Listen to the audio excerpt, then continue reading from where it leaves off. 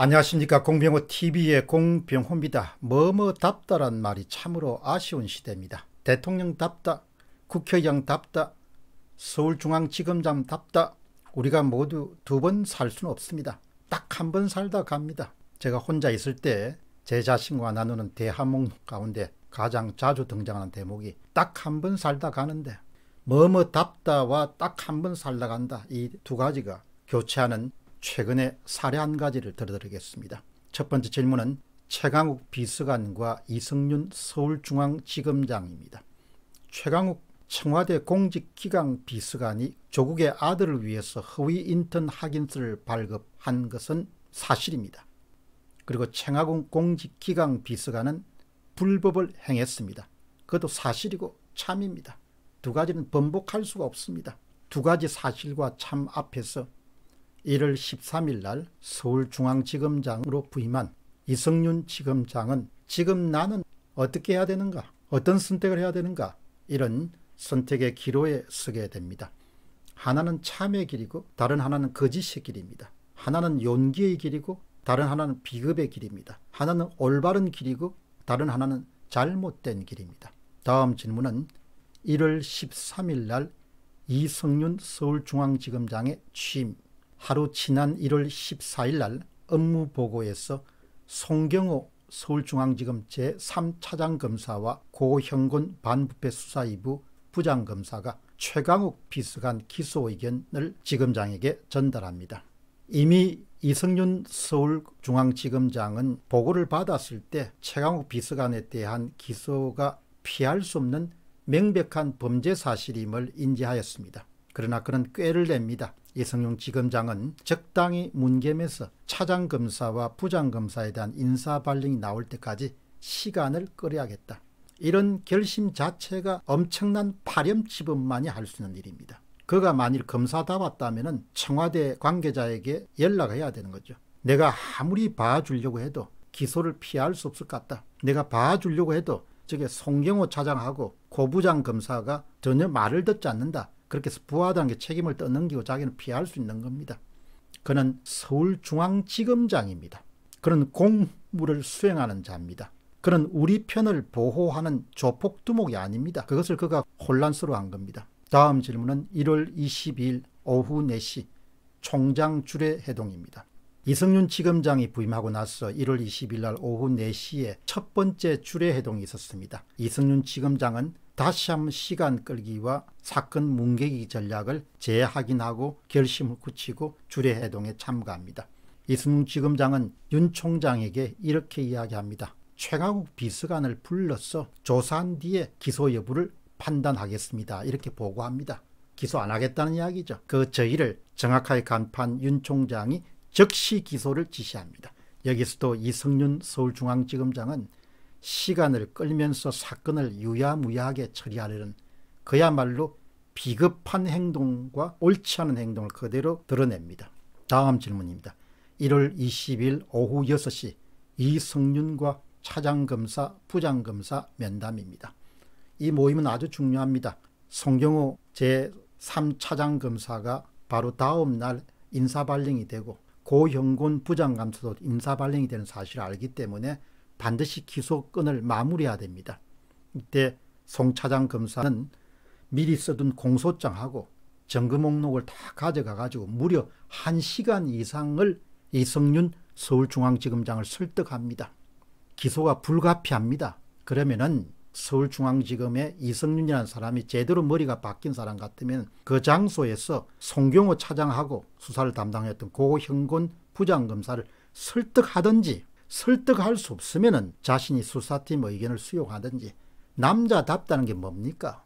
서울중앙지검장까지 올라간 사람이 뭉개가지고 사건을 적당히 덮으려고 하면 그게 되겠냐? 야, 안 되는 거죠.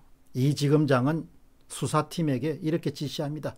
자료 넣고 가서 기다리라. 다시 한번 뭉갤 구상을 하는 겁니다. 그는 알죠. 다음 날 오전 9시 30분이면 인사 발령이 나가지고 차장 검사하고 부장 검사가 다 다른 데로 자천될 테니까 하루만 버티면 하루도 아니죠. 오후 6시부터 다음 날 오전 9시 30분까지만 버티면 그냥 물 건너간다. 한마디로 파렴치범 수준인 거죠.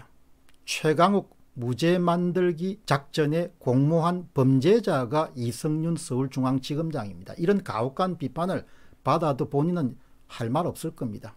윤 총장은 직감적으로 문제가 잘못되고 있다는 것을 느끼고 밤늦게 전화를 때립니다. 다시 기소하라. 그러니까 이성윤 지검장은 응답을 피하고 오후 10시 30분에 그냥 집에 퇴근해 버립니다. 어떻게 이렇게 할 수 있냐 이야기죠. 예. 제가 이 문제를 한번 다뤘지만 다시 다루게 된 것은 말 같지 않은 행동을 보고 역사의 기록을 동영상으로 남겨야겠다는 생각 때문에 영상을 만든 겁니다.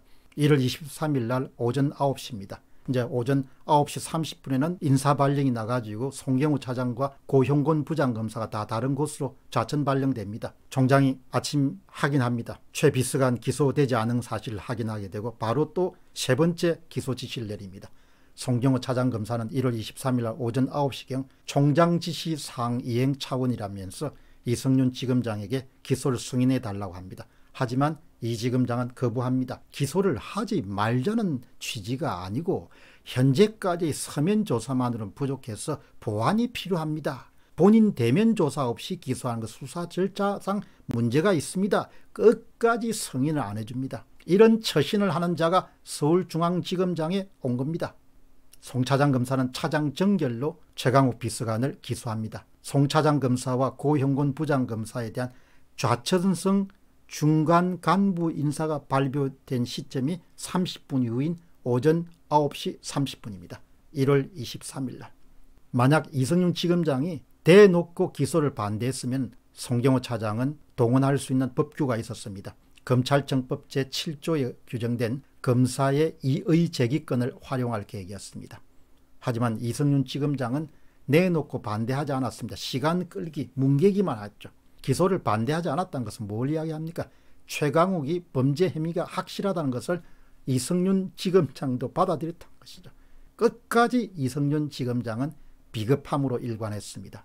또한 그는 범죄자를 보호하기 위해서 중앙지검장의 직권을 남용했습니다. 이런 경우에 얼마든지 면피할 수 있는 방법이 있죠. 우리도 기관장을 해봤으니까. 내가 봐주려고 하는데 저기에 송경호 차장이라는 자하고 고형곤 부장검사라는 자가 도저히 말을 안 들으니까 어떻게 내가 해볼 도리가 없습니다. 이렇게 하면 자기 면도 살리고 부하들 의견을 수용할 수 있는 그런 요령으로 넘어갈 수 있어야 되는. 근데 무조건 청와대 충성해야 되니까 예, 어떻든 뭉개 가지고 점수를 따야 되니까 그래야 다음에 검찰총장이 될 수 있으니까 에이 야 이러면 안 되죠. 요약해서 말씀드리겠습니다. 이번 최강욱 기소 반대권은 이성윤이라는 사람이 어떤 사람인지 그가 앞으로 어떻게 할지를 낱낱이 보여준 사례입니다. 앞으로 이성윤 서울중앙지검장에 대해서 기대할 것은 없습니다. 딱 잘라 이야기하겠습니다. 충직하게 권력의 지시와 명령과 하명을 받드는 존재로 아마 처신할 겁니다. 다행스러운 것은 이 사건은 지검장들이 반대하는 경우에 검찰총장의 직권으로 백운우 전 민정비서관, 이광철 민정비서관 등 지방선거 개입에 관여했던 자들의 책임을 묻는데 하나의 기준점이 될 걸로 봅니다. 이 정부가 아끼는 인물 가운데 예를 들면 이성윤 서울중앙지검장 같은 인물입니다. 사람다운 사람이 이렇게 드문가 이런 한탄이 나오는 겁니다. 그가 임명되었을 때 중앙일간들은 정의감이 있니 사명감이 있니 공사구분이 뚜렷하니 그런 온갖 종류의 일들로 다 치장했습니다. 그러나 저는 딱 잘라서 이야기하겠습니다. 이번 전번에 문자 보내는 거하고 이번 사건을 보면서 출세에 목을 건 인간이다. 그것이 제가 내리는 평가입니다. 사이로 총선에서 이들이 다시 승리하면 이들 밑에서 살아가야 되는 삶을 생각하면 진반 참담합니다. 나는 오름이 지배하는 사회를 살고 싶다는 거죠. 아직도 이 사회는 실상을 모르는 사람들이 너무 많은 점을 걱정하게 됩니다. 정의로운 사회에 살고 싶다는 거죠. 참은 참이고 진실은 진실이고 거짓은 거짓이고 그것이 말과 글과 행동으로 실행되는 그런 대한민국이 되려면 집권 세력이 바뀌어야 됩니다. 공병호 TV의 공병호였습니다. 감사합니다.